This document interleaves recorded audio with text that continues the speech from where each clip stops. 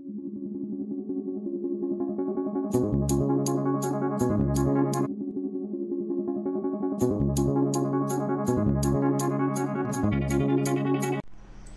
dear students welcome to my channel excellent English zone तो आज मैं फिर लेकर आई हूँ आपको next poem eleventh class UP board की, जो है the scholar compose by Robert Southey पिछले लेक्चर में मैंने फ़र्स्ट पोएम को डिस्क्राइब किया था। मर्सी जो बहुत ही इंपॉर्टेंट पोएम है like this it is also very important the scholar is a didactic poem so it is very important in students life तो देखिए, ये जो पोएम है रॉबर्ट साउदी की स्कॉलर जो स्कॉलर स्कॉलर मीन्स होता है विद्वान। तो यहाँ पर रॉबर्ट साउदी स्कॉलर की फीलिंग्स को एक्सप्रेस करते हैं।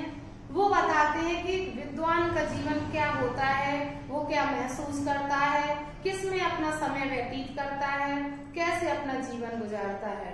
तो यहाँ पर रॉबर्ट साउदे स्वयं एक स्कॉलर का रूप धारण करते हैं। देखिए central idea of the poem मैं यहाँ इसलिए देती हूँ कि इससे आपको शॉर्ट समरी भी हो जाती है और उसके बाद मैं लेसन को एक्सप्लेन भी कर देती हूँ। तो हम देखते हैं कि the poem describes the importance of books क्या डिस्क्राइब करता है ये जो पोएम है, ये बुक्स का इम्पोर्टेंस जो किताबों का महत्व है बाय ग्रेट ऑथर्स किसके द्वारा लिखी गई? Great authors in our life हमारे जीवन में। तो ये पोएम हमें बताती है कि हमारे जीवन में महान लोगों द्वारा, महान लेखकों द्वारा लिखी हुई बुक्स का क्या इम्पोर्टेंस है, क्या योगदान है, क्या कॉन्ट्रीब्यूशन है? तो ये पोएम हमें बताती है कि हमारे जीवन में महान किताब, लोगों द्वारा लिखी हुई किताबों का क्या महत्व है? The poet assumes the personality of a scholar जो पोएट है रॉबर्ट साउदे वो एक एज्यूम्स धारण कर लेता है द पर्सनालिटी व्यक्तित्व। ऑफ़ अ स्कॉलर एक विद्वान का। वो स्वयं एक विद्वान बन जाता है विद्वान का रूप धारण कर लेता है और फिर एक्सप्रेसेस हिज फीलिंग्स अपनी फीलिंग्स को व्यक्त करता है to the great writers of the past किसके प्रति? पास्ट के प्राचीन समय के महान लेखकों के प्रति अपनी फीलिंग्स को व्यक्त करता है एंड द बुक्स और उन किताबों के प्रति रिटन बाय देम उनके द्वारा लिखी गई। तो महान लेखकों के प्रति अपनी फीलिंग्स को व्यक्त करता है और महान लोगों द्वारा लिखी हुई किताबों के प्रति अपनी फीलिंग्स को दर्शाता है। तो देखिए the scholar likes to spend his days in the company of books written by the great writers, authors of the past. जो स्कॉलर होता है, वो क्या करता है? लाइक्स टू स्पेंड स्पेंड करना पसंद करता है इस डेज़ अपने दिनों को। इन द कंपनी किसकी कंपनी में? अब बुक्स उन किताबों की written by the great authors of the past प्राचीन समय के महान लेखकों द्वारा लिखी हुई किताबों में अपना सारा दिन स्पेंड करना पसंद करता है। He is grateful to them और वह जब उन किताबों को पढ़ता है तो उन किताबों के प्रति कैसा हो जाता है? ग्रेटफुल कृतज्ञ हो जाता, कृतज्ञ हो जाता है। तो वो उन किताबों के प्रति कृतज्ञ हो जाता है। और फॉर द लेसन किसके लिए? उन शिक्षाओं के लिए जो he has learn from them जो उसने उन किताबों को पढ़कर सीखी है। तो कहते हैं कि एक जो स्कॉलर होता है, वो अपना सारा दिन, सारा समय अच्छे लेखकों की, महान लेखकों की किताबों के उस कंपनी में स्पेंड करना पसंद करता है और जब उन किताबों को पढ़ता है और उन किताबों से जो शिक्षा ग्रहण करता है, उसके प्रति वो बहुत ही ग्रेटफुल हो जाता है, कृतज्ञ हो जाता है। ही होप्स दैट वह आशा करता है कि आफ्टर हिज डेथ कि अपनी मृत्यु के बाद, जब वो मर जाए, अपनी मृत्यु के बाद he will be in the company of the great writers वो भी क्या होगा? उन महान लेखकों की संगति में होगा ऑफ़ द पास्ट प्राचीन समय के। वो सोचता है कि जिस तरह से इस समय प्रेजेंट में, मैं जो एक विद्वान हूँ, वो क्या करता हूँ कि प्राचीन समय के लेखकों की किताबों को पढ़कर उन्हें याद करता हूँ तो जब मैं मर जाऊँ तो मैं भी उन महान लेखकों की संगति में हो जाऊँ। मैं उन महान लेखकों की, प्राचीन समय के उन महान लेखकों की साथ शामिल हो जाऊँ। And he also will be remembered वो सोचता है कि वह भी शामिल हो जाएगा और उसे भी याद किया जाएगा इन दिस बड़े संसार में। Like the great writers of the past जिस तरह से प्राचीन समय की महान लेखकों को अभी हम याद करते हैं, वो आशा करता है कि he also will be remembered उसे भी याद किया जाएगा। जब वो मर जाएगा तो मृत्यु के बाद उसे भी उन महान लेखकों के साथ याद किया जाएगा, जिसे मैं आज याद कर रहा हूँ। तो इस तरह से रॉबर्ट साउदी एक स्कॉलर की फीलिंग्स को बताते हैं और वो कहते हैं कि विद्वान होता है, उसका जीवन कैसे गुजरता है, वो जीवन में क्या करता है, किससे अपना जीवन अपना सुख दुख बांटता है, किसकी गुणों को ग्रहण करता है, और अवगुणों की आलोचना करता है, इस तरह से ये अपना सारा जीवन जो स्कॉलर्स होते हैं, वो अपना सारा जीवन बुक्स पर बिता देते हैं और वो बुक्स जो प्राचीन समय के लेखकों ने लिखी हैं और उनके प्रति बहुत ही कृतज्ञ हो जाते हैं क्योंकि उन्होंने जो सीखा हुआ प्राचीन लेखकों द्वारा लिखी हुई किताबों की देन होती है। इसलिए वो उन किताबों का बहुत आभार व्यक्त करते हैं और लेखक कहता है कि हर विद्वान यही चाहता है कि उसे भी मरने के बाद इन्हीं विद्वानों की तरह याद किया जाए। तो ये इच्छा करता है रॉबर्ट साउदे। तो ये पोएम की शॉर्ट समरी हो गई और सेंट्रल आइडिया भी हो गया। अब मैं इसकी पोएम को पढ़ाऊँगी लाइन बाय लाइन तो आप इसको, इस एक्सप्लेनेशन को सुनेंगे। तो देखिए, जो स्कॉलर है, वो क्या कहता है? कहता है कि माई डेज़ फ़र्स्ट स्टेंजा देखिए फोर स्टेंजा पोएम है और स्टेंजा सेवन लाइन स्टेंजा कुछ six line stanza six line stanza ही है। तो देखिए क्या कहता है? My days among the dead are past around me I behold wherever these causal eyes cast the mighty minds of old. My never failing friends are they with whom I converse day by day. तो first stanza में क्या कहता है poet poet कहता है कि my days among the dead are past मेरे जो दिन हैं किसके साथ? Among the dead dead means dead the great writer of the past who are now dead प्राचीन समय के वो महान लेखक जो अब मर चुके हैं, उन लेखकों द्वारा लिखी हुई किताबों के साथ मेरा दिन व्यतीत होता है। अराउंड मी अराउंड मी अपने चारों ओर आई बिहोल्ड में देखता हूँ बिहोल्ड मीन्स होता है देखना। क्या देखता हूँ? Wherever this causal eyes are cast wherever जहाँ भी मेरी ये आकस्मक आँखें पड़ती हैं वहाँ मैं किन्हें देखता हूँ? The mighty minds of old प्राचीन समय प्राचीन लेखकों द्वारा लिखी हुई किताबों को माइटी माइंड्स उन उन विद्वान लेखकों द्वारा लिखी हुई उन ग्रंथों को, किताबों को ही देखता हूँ, जहाँ भी मेरी नज़रें पड़ती हैं।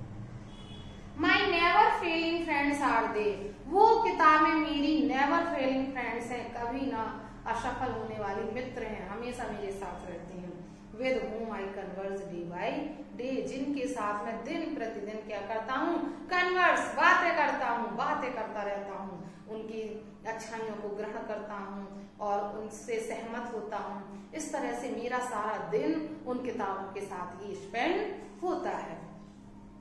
सेकेंड स्टैंडर्ड जो है with them I take delight in weal and seek relief in woe and while I understand and feel how much to them I owe. My cheeks have often been bedewed with tears of thoughtful gratitude.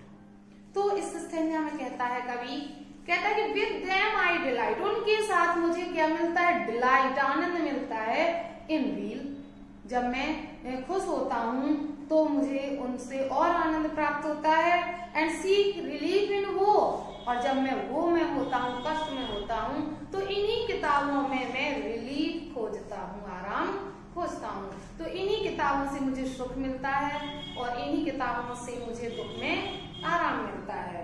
And while I understand और जब मैं समझता हूँ and feel महसूस करता हूँ कि how much to them I owe कि मैं इन किताबों का कितना ओ कर्जदार हूँ, ऋणी हूँ।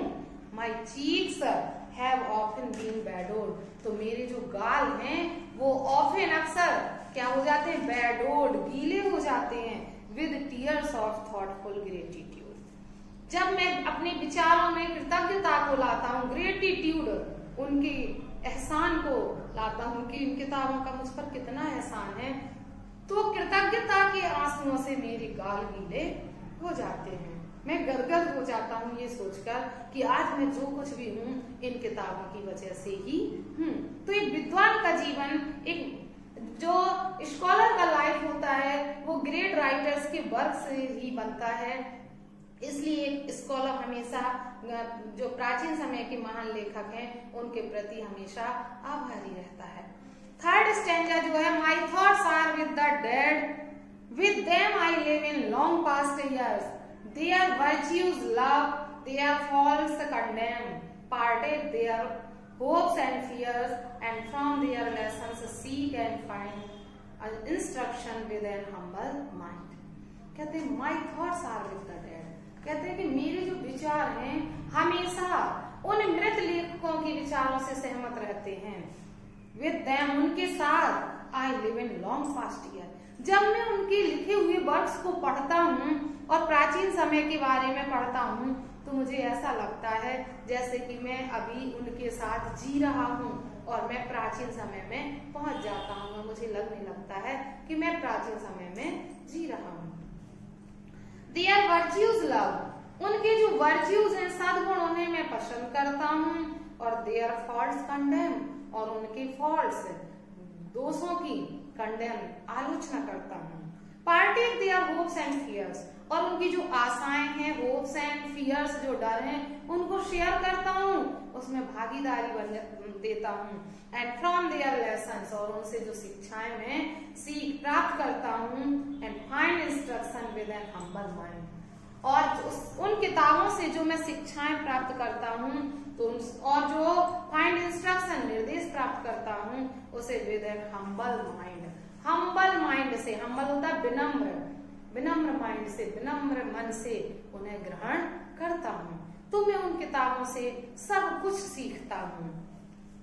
लास्ट संज्ञा में कहता है my hopes are with the dead my hopes are with the dead and my place with will be and I with them shall, shall travel on through all futurity. Yet leaving her here a name I trust that will not perish in the dust. My hopes are with the dead. मेरी जो आशाएँ हैं हमेशा मृत लोगों के साथ रहती हैं और एनन शीघ्र ही my place with them will be मेरा स्थान भी उन्हीं के साथ होगा and I with them shall travel on और आने वाले भविष्य में थ्रू ऑल फ्यूचरिटी आने वाले भविष्य में मैं उनके साथ ट्रेवल करूँगा, यात्रा करूँगा। लिविंग हियर आई उनके साथ मैं वहाँ यात्रा करूँगा और यहाँ मैं अपना नाम छोड़ जाऊँगा। आई ट्रस्ट मुझे विश्वास है that will not perish in the dust perish होता है, नष्ट हो जाना। मुझे विश्वास है कि मेरा ये नाम धूल में नष्ट नहीं होगा। मुझे भी इसी तरह से याद किया जाएगा, जैसे कि मैं प्राचीन लेखकों को याद करता हूँ। तो देखिए, इस पोएम में आपने देखा कि किस तरह से पोएट रॉबर्ट साउदे, जो एक स्कॉलर को रूप एज्यूम करते हैं और एक स्कॉलर की फीलिंग्स व्यक्त करते हैं, वो कहते हैं कि स्कॉलर का जो लाइफ होता है पूरा, वो पूरी महान प्राचीन समय के महान लेखकों की बुक्स में ही व्यतीत होता है। वही उसकी सबसे अच्छी फ्रेंड होती हैं, वही सुख दुख में उसका साथ देती हैं, वही उसकी नेवर फेलिंग फ्रेंड्स हैं। और ये जो बुक्स हैं प्राचीन समय के लेखकों द्वारा, इनसे एक स्कॉलर प्रेजेंट में जो स्कॉलर बनता है या मतलब एक विद्वान होता है, वो इतना कुछ सीखता है कि उसके प्रति वो हमेशा आभारी रहता है। तो लेखक कहता है कि मैं भी एक आशा करता हूँ कि काश मैं उन महान लेखकों के साथ हो जाऊँ और शीघ्र ही जब मैं मर जाऊँगा तो मैं उनके साथ यात्रा करूँगा। और जैसे वो एक समय अपना नाम यहाँ छोड़ गए थे, ऐसे मैं अपना नाम छोड़ जाऊँगा। और जैसे मैं उन्हें याद करता हूँ, ऐसे लोग मुझे याद करेंगे। मुझे विश्वास है कि मेरा नाम धूप में नष्ट नहीं होगा। तो ये है आपकी स्कॉलर पोएम जिसकी मैंने समरी भी बताई सेंट्रल आइडिया भी बताया और एक्सप्लेनेशन भी दिया। तो सेंट्रल आइडिया तो आपका यही हो गया और एक्सप्लेनेशन आपको खुद करना है। मैंने आपको एक्सप्लेन कर दिया है स्टेंजास को। आप उसको समझिए और अपनी भाषा में, अपनी लैंग्वेज में, क्योंकि इंग्लिश में एक्सप्लेन करना पड़ता है तो इंग्लिश में उसे एक्सप्लेन करना सीखिए। तो आई होप आपको ये वीडियो बहुत पसंद आई होगी और आपको बहुत अच्छे से समझ में भी आएगी। तो अगर आपको ये वीडियो मेरी अच्छी लगे तो प्लीज़ वीडियो को लाइक करें चैनल को सब्सक्राइब करें और बेल आइकन प्रेस करना ना भूलें। Thanks for watching video